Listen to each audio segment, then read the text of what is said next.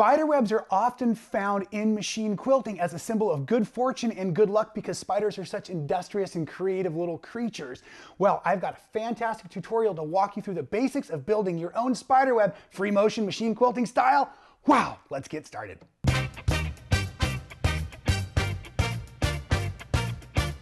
Recently, I created this awesome quilt using Tula Pink's de la Luna fabric. It's an apothecary style quilt. And because of that, I needed a wonderful quilting motif to use in the background. So I used some wood grain and bubbles, but I also used the spider web, as you can kind of see right in here. And I'm gonna show you the basics on how to do the spider web, but I also want you to be thinking like anchor points, right? So our little spider would be up here in the corner of our shelf and she'd drop down onto the bottle or whatnot. And we, we wanna start to, start to think a little bit about anchor points points while we work through our motif. So please just take a moment and drop down into that description below. We've got a free printable for you like we do in all of our free motion videos. So as you see here, this is gonna walk us through the structure and how we're going to do uh, the basics of the spider web. You can build it as big or as small as you want.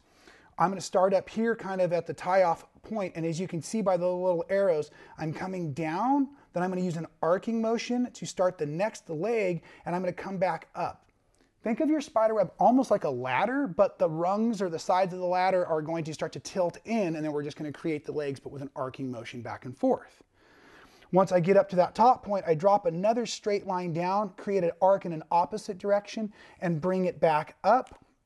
I can come back down the center as you see in step three, and we're gonna basically create about five different columns there. And then I just arc back and forth, creating that uh, ladder effect, but I'm going to go up and down the spider web portions, adding thick and thin spots, just like our little spider would if she was working on her web.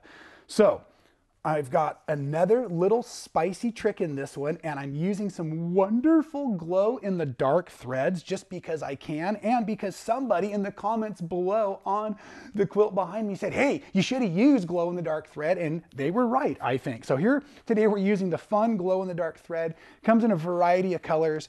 Uh, you're looking at the white here, and I'm gonna leave it right in the center so we can get it charged up nice and fun.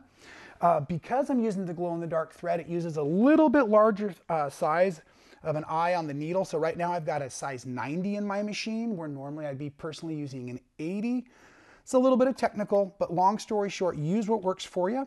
Now, as I'm getting ready to get started, I'm gonna come up to what's gonna kind of be my top area. I'm gonna work towards myself. I want to take one stitch here to pick up my bobbin thread. And I'm gonna do that here, bringing it up I am not using the glow in the dark thread in the bobbin. You would if you wanted to, people to see the back end of the project, but I'm not because I want to be able to maximize my glow in the dark thread on the top. Folks won't see the back side of this quilt. Okay, so now we're gonna take just a few stitches to anchor myself in place here. Now I'm gonna start that first leg towards me. And as I come down here, I'm just gonna stop for a second catch my breath, and now I'm gonna create that arc over, and now I can come back up. As I come back up, I'm just gonna take a second and pull these threads out of the way here. Let's just go ahead and trim those out. I don't want them to catch. I felt like they snagged a little bit on the bottom side as I got started. I can compensate for that in a little bit if I need. Now I'm gonna come over here to that other side, leaving myself space in the center. In the diagram, I arced opposite, so we'll do it just like we did in the diagram, leaving space for those rungs. Now I'm coming back down my center here, and I'm gonna arc back over, and I'm gonna stop. We're just gonna catch our breath, wiggle our shoulders a little bit, and at this point now I can start to travel up the legs um, or the poles and start to fill in. So I want to get up this way here first. I'm gonna make another arc. Now, I'm gonna come down to the bottom point first so I can finish off the base of the web. Now, what I personally feel is key is as I begin to go back up and fill in, I do not want my points to come to the same point each time. A spider doesn't do it that way. Sometimes she does big, sometimes she does small. So I want to start to fill in these legs, just keeping a little bit of that arcing motion.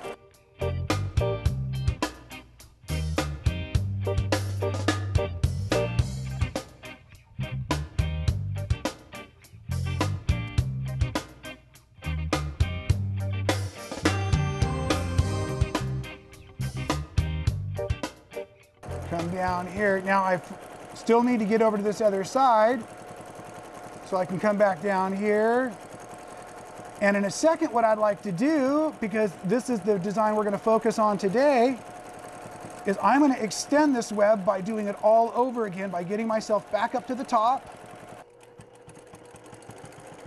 And then as I'm working my way back to the top, I'm just filling in any spots that I feel like are necessary to make it complete looking.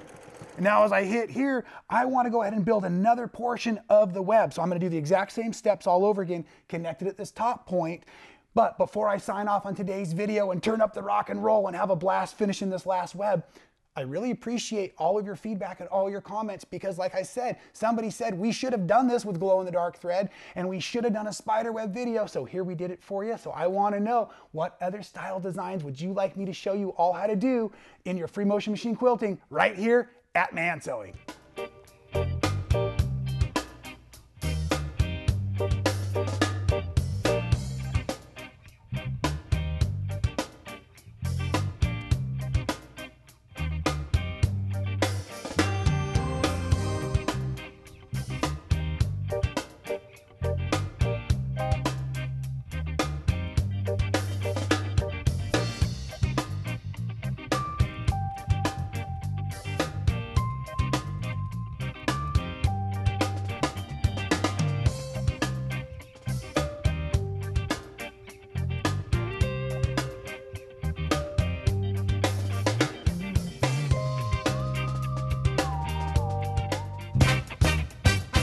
Oh, hey, are you still in here?